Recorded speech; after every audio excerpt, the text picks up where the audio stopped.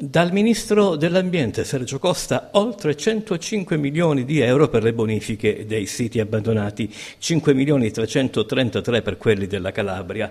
Ora toccherà alla Regione, soggetto attuatore, indicare i siti da bonificare e agire in fretta. Lo dichiarano in una nota ai parlamentari del Movimento 5 Stelle Laura Ferrara, Alessandro Melicchioli, Riccardo Tucci, Anna Laura Orrico, Giuseppe Fabio Adduino ed Elisa Scutellà. Luoghi che inquinano e stanno lì a volte da decine di anni e circa il 50% si trova al sud, dicono ancora gli esponenti pentastellati. Oggi, oggi finalmente, dopo tanti anni, la Repubblica Italiana riconosce che ci sono dei luoghi abbandonati sui quali intervenire per bonificarli, oltre i siti di interesse nazionale e i siti di interesse regionale. Oggi c'è la terza categoria, i siti orfani. Ognuno di voi, ma, tanti comitati, tanti cittadini mi hanno scritto in questo tempo in cui io sono ministro dicendo ma io, io vedo che c'è un sito, nessuno fa niente, ma com'è possibile? Ma lo Stato dov'è? Il comune dov'è? La regione dov'è? Era probabilmente un sito orfano. Bene, allora noi l'abbiamo firmato.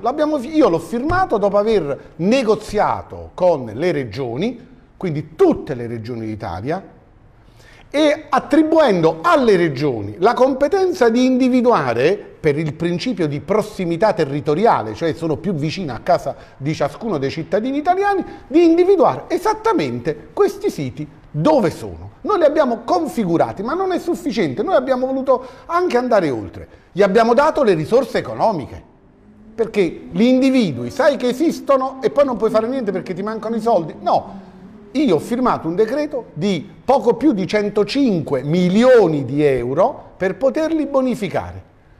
Abbiamo ripartito già queste risorse, quindi nemmeno stanno lì, ma le abbiamo ripartite assegnandole a ogni regione d'Italia. Ogni regione vuol dire che sono dovunque, non sono in una regione e non in un'altra, e le due province autonome. Oggi, finalmente, i presidenti di regione e i presidenti delle due province autonome possono intervenire, hanno il profilo giuridico, l'ho firmato, gli ho dato i soldi, ma devono bonificarlo.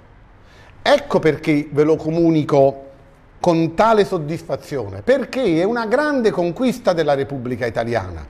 È il modo per affrontare le bonifiche fino in fondo. Voi sapete quanto io ci tengo alle bonifiche, sapete che ho ristrutturato il Ministero dell'Ambiente al punto tale da aver fatto una direzione generale proprio e solo per le bonifiche, perché il grande buco nero d'Italia ambientale. Bene, abbiamo attivato dopo, non so, credo quasi 30 anni le bonifiche di Caffaro, stiamo eh, definendo quelle di Priolo, ne abbiamo, e altre ne stiamo attivando. Quindi un, stiamo facendo un lavoro tremendo, grosso, gigantesco.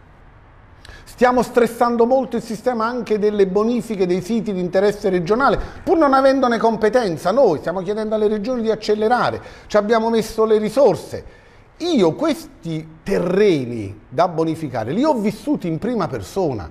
Io ci sono andato dentro in quelle, in quelle discariche, le ho viste le, sono sceso in taluni casi a meno 20 metri, a meno 12 metri insieme ai miei uomini prima di diventare ministro, respirando quella malefica aria. Perché? Perché bisogna starci dentro per capirle certe cose. Io le ho vissute tutte quelle cose. Adesso era il, il momento di trovare le soluzioni. Se l'abbiamo incominciate finalmente a vedere la luce per i siti di interesse nazionale, adesso è il momento di dare una risposta ai siti orfani, a quelli che di cui non si trova più il colpevole, ma non è perché non si trova il colpevole possono rimanere così,